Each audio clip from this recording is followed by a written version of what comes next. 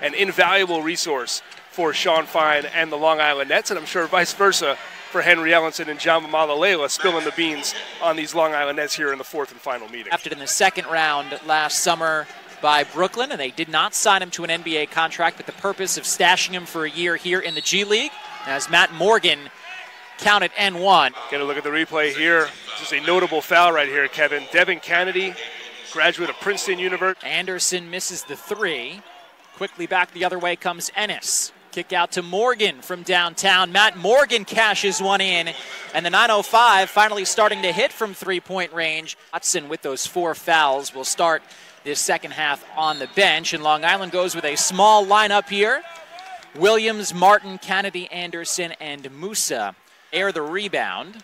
And here comes Ennis into the front court. Ennis pulls from downtown, can't get it to go. Morgan, the offensive rebound, what a finish. Matt Morgan down to three. Morgan going to the rim. Matt Morgan beating the buzzer. It's a tie ball game.